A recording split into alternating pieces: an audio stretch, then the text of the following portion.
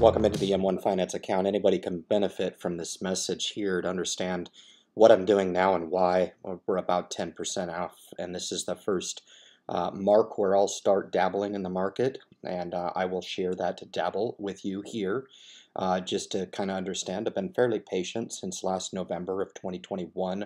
Uh, I've monitored markets closely and where I think the focus has moved away from uh, inflation fears um, and moved more toward the geopolitical risk.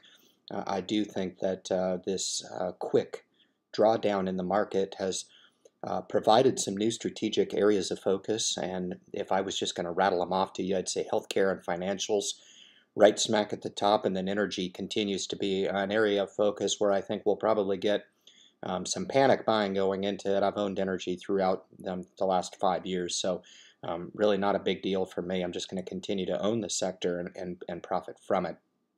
But it is time. Uh, the theme in this video is going to be some uh, new strategic positions in 12 stocks. I'm going to declare those to you guys. Um, I'm also doing uh, about $36 cost average buys, and M1 Finance allows this to happen. Uh, I just want to bring your attention here to the uh, market performance and net flow into the portfolio. These are hard dollars that are contributed into this portfolio here at 18.5. Uh, market gains at just over 9,000, so fantastic uh, work here. Um, and then some earned dividends, which just go up uh, incrementally. This portfolio is crazy. I've had about 80 stocks in this portfolio, and it's uh, I'm hard pressed to not get a dividend every day. I you know it seems like every day, every other day or so, I'll get uh, dividends from from a few bucks all the way up to you know 15, 16, 18 bucks. It just it just varies, but there's so many dividend paying stocks in this portfolio. Strategic goal over this bucket is to align um, those with that strategic goal of, of seeking out one of the four Ds that I believe is one of the uh, real pillars in investing. I mean, should I dare and say it, a guarantee. Uh, and for you guys that um, you know choose to consume this content, you can really benefit from understanding my philosophy on that. And for those patrons out there that do not have M1 Finance, it doesn't mean that you can't uh, sit back and relax and enjoy my philosophy on, on why I'm entering into these companies at this particular time off here about 10%. Um, this is the time when I feel like um, I want to make my first strategic stab. Um, I'll continue to dollar cost average the market, but this is a strategic buy, um, and I'm here to share that strategic buy with you. So here you can see the portfolio is just kind of leveled off and, and slightly trending to the right here. No real crazy downturn values held up um, quite well. Actually, they've, they've sold off, but, but they've held up because I, I was sitting on such nice gains in this portfolio. I think that it just demonstrates the strength of dividend investing here and, and holding really good companies through this volatility. Um, you can see here how the sectors have fared. Uh, these I've got pieced through. I do omit real estate from this portfolio for obvious reasons. I hold real estate in other capacities and other accounts, uh, much larger positions, and uh, some of my favorite REITs in, in my Roth IRA. I, I, this is a taxable brokerage account. Um, so I, I, don't retain uh, real estate in here, but here's the other 10 sectors that I do retain here. Um, but um, here's the scheduled buys tomorrow, 48 total buys, almost 50 stocks uh, that we're putting a, a, strategic inject in the market. And this is a far cry from what everybody's doing right now. Um, you know, uh, panicking and, and, and, you know, bitching about the gas prices and, you know, panicking and, and, and nobody's really talking about uh, put, putting a strategic, non-emotional, um, neutral application to this market. Could it continue to go down? Yeah, maybe. Uh, I, I, don't I don't play that game. Um, this is not a game. Um, this is to uh, abide by a series of rules that I believe in to buy at the first strategic 10% down. Um, could this be ill-timed? Yeah, odds are probably yeah. Uh, I don't believe in being able to time the market, so I don't I don't try to do that. Uh, I make strong moves in the market, and this is indi indicative of just that and that's a strong move in the market. So let's cruise through here, and I'll do you guys a favor, and I will separate um, just a, a, little over five of inflows into this. I will separate the new strategic positions in this portfolio um, from the dollar cost average buys. Uh, so two of the four triple Ds, uh, uh, the DRIP program and diversification being the other two. Um, I do not seek out uh, diversification in this portfolio, albeit Um, I do hold a lot of holdings in this portfolio. This will boost it up close to 100 holdings in this dividend portfolio, and I think it's awesome. It is a great way to invest. Um, and I do have strategic visions down the road of this portfolio getting up to 100, 100 and a half, quarter million dollars. Um, and still holding all of these same assets and, and uh, st strategically polishing the edges as we grow and, and, and we uh, mature the portfolio going forward here. But Cummins, uh, leading off the list here, Cummins is fabulous. Uh, just took over uh, Meritor here in a, in a really a, a, an awesome deal. You know, there's a $3 billion deal. So it was huge. Uh, another strategic kind of in there uh, with the EV market. I think Cummins will benefit from its uh, its relationship with with Hyliion as Hyliion comes into uh, becoming more of a dominant player in the EV space. I think it's going to be great to have some exposures to Cummins. Uh, Cummins is a buy rating across the board, pays a nice dividend, fits nicely in the portfolio. Uh, Emerson Electric here will be a newly established position. Uh, and then right below it, UNH I've had in the portfolio, I've had a small position, but this actually rounds out that existing uh, uh, position that I started many, many months ago in United Health. Um, this will kind of re-solidify that position there. Uh, but uh, that's a dollar cost average buy. And then uh, Sanofi, uh, the only healthcare addition to this portfolio that I've got. Um, I loved what I saw here in Sanofi. It was fabulous. Um, it is a, a global provider um, in the healthcare space. Um, Gilead was the other one that I was looking at, and I opted not to buy that. So Sanofi took took the cake here as being the lone financials here. So we've got Cummins, Emerson Electric, Sanofi uh, as the new positions, and I'm going to go through here and I'm going to cherry pick the new positions for you. Uh, U.S. Bancorp is a new position. Uh, British Petroleum, uh, excuse me, British American Tobacco (BTI) um, is a new position.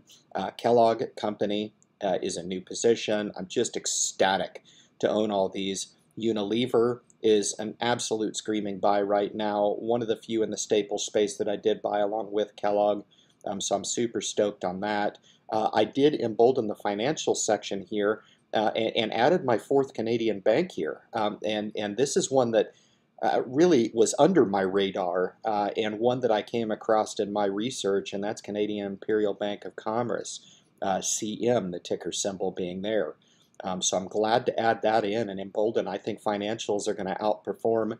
Interest rates going up are good for both staples and financials. Cost of goods go up, profits go up for companies.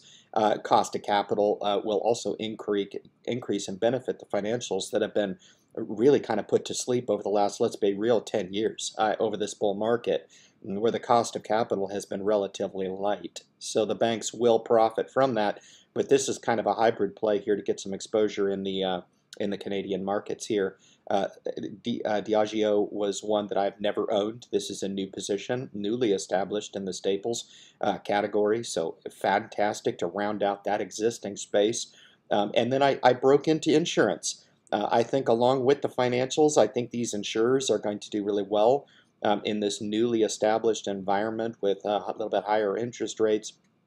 I think AIG and MetLife, uh, as well as uh, I think I added some Aflac here. I might have left Aflac out of it. Yes, I did.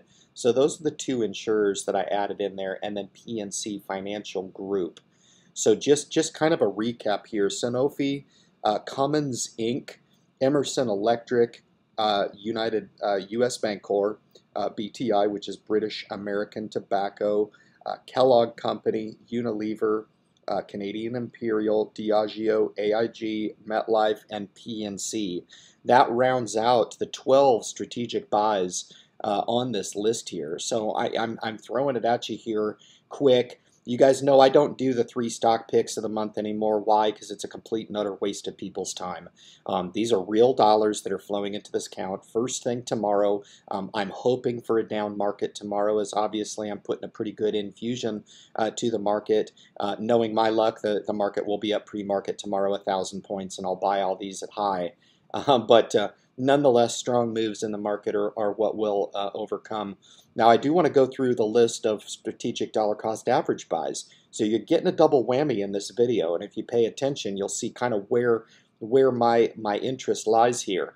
Uh, UNH uh, is the first strategic buy on an existing position. Remember, these are positions that were held before, and these will help embolden these. Visa, Merck, Cisco Systems, Intel, Disney, McDonald's, these are all previously owned positions, Home Depot, IBM, MasterCard. Look at that, Texas Instruments. Nice to see that uh, getting a little bit of love right there. Materials is really down right now. Um, and I, I, think it's nice to see that these flow into two of my very favorite uh, materials uh, as materials taking it on the chin here. And I think materials is, is just a fabulous sector to be in in, in Linde and Air uh, Products and Chemicals Inc., APD. Uh, Nextera in the utility sector, Lowe's, Sherwin-Williams again in the material sector, uh, Comcast, Starbucks, Leggett & Platt in discretionary, uh, Nike, AT&T, AMD, Duke, and Southern Company, my two staples there in utilities, uh, TJ Maxx, Verizon, uh, Broadcom Inc. in the chip space, uh, Citigroup, again, nice to see a little emboldened there in the financial sector. Dominion also, so utilities getting a lot of love here on this dollar cost average initiative. JP Morgan, more love for materials in DuPont and Dow. Uh, and UPS and industrials, T-Mobile, FedEx, and finally Enbridge, which is getting just a little bit of love in energy. You'll notice here that there's not a lot of buys in energy because energy it has just run away from itself in this portfolio. It's just absolutely crazy overweight, and I'll show you what I mean here when we go into, you guys remember energy used to be way down the list. Obviously, in the downturn, it was below 6%. Now it's crept up to 7.4, and we're up 693. This just goes to show the funding that goes into these uh, out of favor sectors when they are indeed out of favor um, we can look at them now and say, man, it's nice to have been there and done that, and look at us now. Um, we're just killing it. So to see these uh, inflows come into this portfolio is going to just be absolutely fabulous. Remember, the takeaway here is uh, to, to, to stay strong on a plan.